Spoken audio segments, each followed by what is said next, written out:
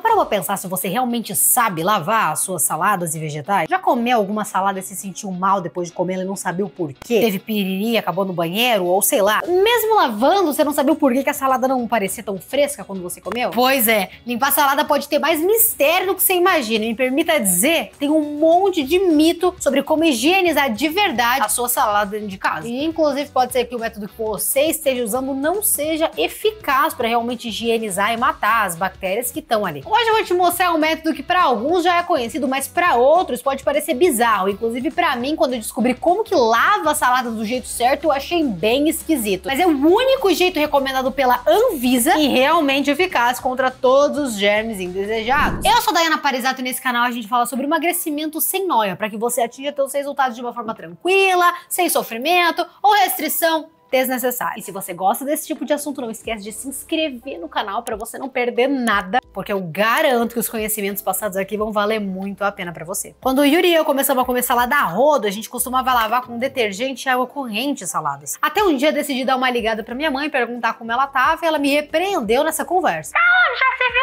lavar corrente e detergente, tem que lavar com vinagre, vinagre que é bom. E aí eu achei meio estranho, achei meio esquisito o negócio do vinagre, não sabia não. Aí meu pai se meteu na história falando que estava errado, que o ideal era limpar com bicarbonato de sódio esses vegetais. Gente, ficou uma confusão. No final da história, ninguém tava certo. Nem eu e o Yuri por lavar com água corrente e detergente, nem a minha mãe por acreditar que salada era higienizável com vinagre, tampouco meu pai, que acreditava na história do bicarbonato de sódio. Por exemplo, a gente pega essa, essa cenoura aqui, você tá vendo que ela tem umas imperfeições? Eu não sei se tá focando. Tá vendo as imperfeições? Então, quando a gente lava com água corrente, a gente costuma ver sair uns detritos visíveis, mas não é capaz de tirar os micro-organismos e as bactérias contidas no alimento. O vinagre, por sua vez, por mais que ele seja maravilhoso, seja ótimo, inclusive para proteção do nosso estômago, saudável, magnífico, e tem também propriedades antibacterianas no vinagre, tá? Não é o suficiente pra gente fazer uma higienização segura mesmo. Fazer com que os alimentos sejam isentos de vírus ou protozoários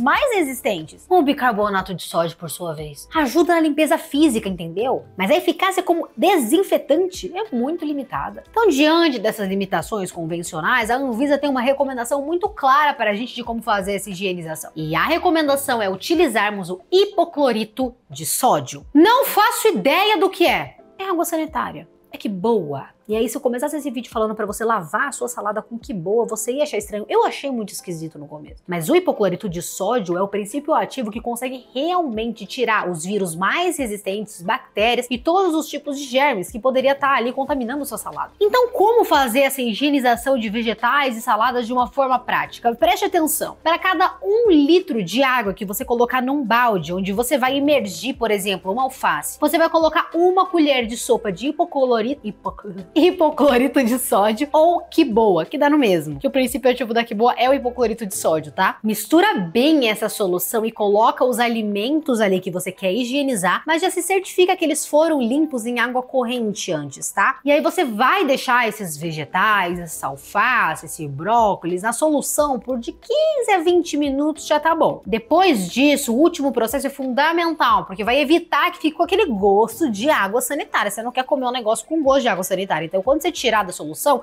lava bem e prioriza a água potável. Eu sei que é mais complexo essa parte, mas prioriza lavar com água potável esses vegetais, essas folhas e limpar bem para que eles fiquem seguros para consumo e gostosos também. Sabe, gente, usar água sanitária para lavar os nossos vegetais e a nossa salada é uma questão de saúde pública baseada em evidência. Considerando que várias pessoas se contaminam diariamente com E. coli, salmonela e outros patógenos que afetam o trato gastrointestinal, a forma que a gente higieniza esses alimentos é fundamental, principalmente aqueles consumidos cru, que não tem nenhum processo de cocção para matar ali algum tipo de bactéria residual e a gente acaba ganhando ali uma infecção alimentar de brinde por falta de higienização. E gente, esse é o tipo de vídeo que você não pode deixar morrer aqui. Tem que mandar para as pessoas que fazem saladas diariamente dentro de casa para que elas consigam se prevenir. Porque imagina que raiva você tá comendo um negócio que é saudável e ainda pega uma bactéria zoada, gente. Pelo amor de Deus, manda esse vídeo para pessoas que costumam cozinhar alimentos in natura dentro de casa para que eles estejam realmente prevenidos e seguros. E se você gostou desse vídeo, não esquece de ativar o sininho e se inscrever para mais de nutrição.